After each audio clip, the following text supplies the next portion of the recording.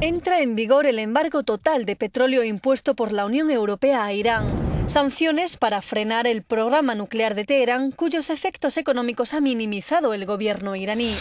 Aunque según la Agencia Internacional de la Energía, las exportaciones de crudo iraní que representan el 80% de los ingresos estatales han caído en un 40% este año, una cifra que se explica por la repercusión que este embargo está teniendo en las compras de crudo iraní por parte de países no comunitarios, dado que las empresas europeas copan hasta el 85% del mercado de seguros para petroleros.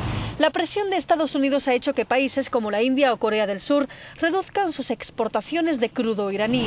Pakistán y China resisten y han firmado un contrato con Irán para la construcción de un gasoducto. Además del embargo petrolero, las sanciones económicas están teniendo un fuerte impacto en la población debido a la falta de divisas, al desplome del rial iraní y a la inflación galopante.